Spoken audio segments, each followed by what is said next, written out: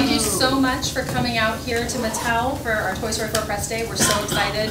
Um, so first off, to kick off the day, I wanted to introduce um, Director Josh Cooley and Nielsen to say a few words.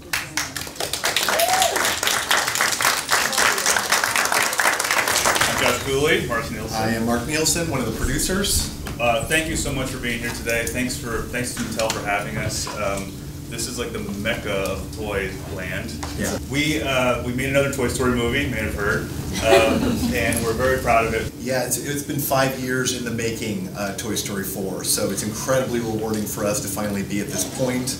We're really excited about it. We've actually we have uh, two of the artists that worked on this film that are here with us today. I think we should call them Should up. we call them? Yes. Claudio. Come on up. Claudio and Anna. Come, come right on up here. So, so this is this is Anna Ramirez. She was part of our a key member of our art department that helped do a lot of the design work on the film.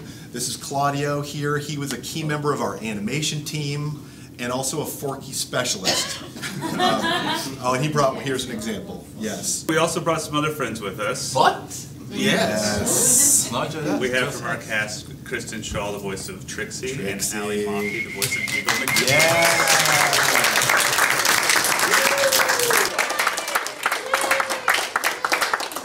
Welcome. Come on in. Welcome, welcome. We're here. Yes.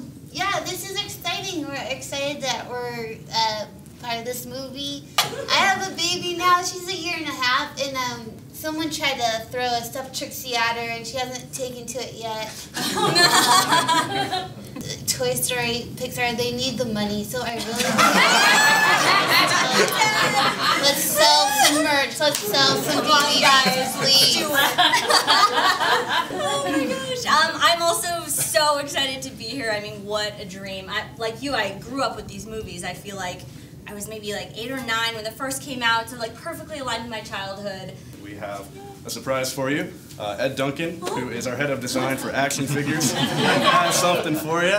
Dreams come true. So, since you're going to be talking about your characters and your toys today, we thought you might want to have some of your toys too. Thank you. We don't have to pay for these. Yeah.